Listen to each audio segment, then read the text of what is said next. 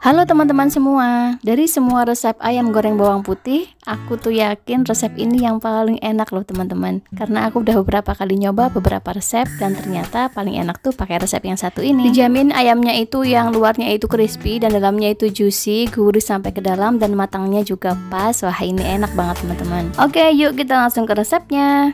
Yang pertama kita siapkan 1 kg ayam. Ini aku pakai sayap ya teman-teman. Satu sayap ini aku potong jadi dua supaya agak kecil-kecil gitu ya. Dan ini udah aku cuci bersih. Kenapa dipotong kecil-kecil? Supaya nanti bumbunya itu cepat meresap dan saat digoreng juga lebih cepat matang. Teman-teman kalau pakai bagian dada atau paha, usahakan motongnya jangan terlalu gede ya, cukup segini aja. Lanjut yang kedua, kita bikin bumbunya. Ini kita siapkan 4 siung bawang putih kemudian 5 siung bawang merah, 1 sendok teh ketumbar bubuk, setengah sendok teh merica bubuk,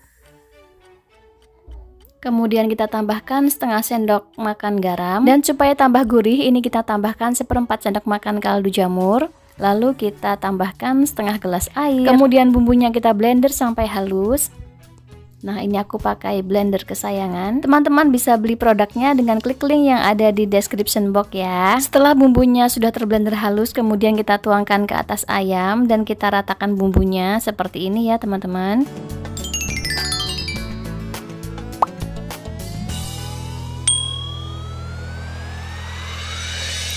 Dan bila sudah kita bisa marinasi ayamnya minimal satu jam di kulkas ya teman-teman. Dan ini dia, setelah satu jam kita tambahkan 10 sendok makan tepung tapioka atau tepung kanji. Kemudian kita aduk merata seperti ini dan nggak perlu ditambahkan air lagi ya karena nanti ini juga bakal berair. Nah seperti ini teman-teman hasil akhirnya setelah kita aduk-aduk. Kemudian kita siapkan 6 siung bawang putih. Dan ini cukup kita geprek aja ya. Dan nggak perlu dikupas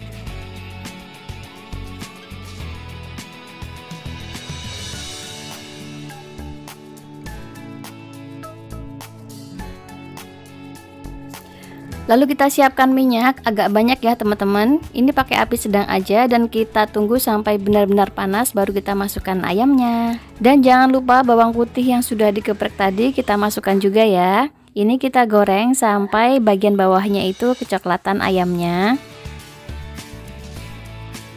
Setelah kurang lebih 5 menit ini sudah kecoklatan kemudian kita bisa balik Nah ini dia teman-teman kita nggak boleh pakai api besar ya karena takutnya bagian luarnya itu udah matang tapi bagian dalamnya itu belum matang. Jadi pakai apinya sedang-sedang aja ya. Dan setelah kurang lebih 10 menit ini sudah kecoklatan semua ya. Semua sisinya udah kecoklatan dan sudah garing. Ini udah matang teman-teman kita bisa angkat